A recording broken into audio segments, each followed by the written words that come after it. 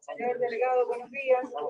Antes que nada, en vista de que el listado de candidatos a la Asamblea es más largo y no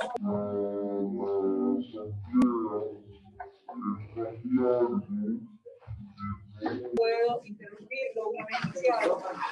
Yo he pedido, y no me lo quieren aceptar, que primero se proceda a la aceptación formal de la candidatura, precandidatura a la vicepresidencia de la República de mi hermano Rafael Correa. Si yo firmo en estos momentos y continúan los... Aquí está listo, se lo puedo pasar, ahorremos tiempo. Si yo firmo en estos momentos y continúan los... Aquí está listo, se lo puedo pasar, ahorremos tiempo. Quiero decirles que ya está firmado procederé a realizar la entrega y espero que me la reciban una vez que firme lo de acá. ¿okay?